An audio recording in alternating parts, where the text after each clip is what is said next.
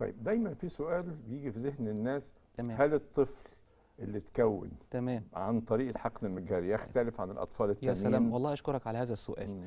ليه بقى يا دكتور أيمن بشكرك على هذا السؤال؟ لأن أنا ضد جدا مش أنا مش أنا لا ده المنظمات العالمية في علاج تأخر الإنجاب بتقول ما فيش حاجة اسمها حمل طبيعي وحمل حقن مجهري بس هو مش الحمل طبيعي. حمل الحمل حمل أيوة. هو كل اللي عملناه بالحقن المجهري ان إحنا وصلنا الحمل المنوي للبويضه.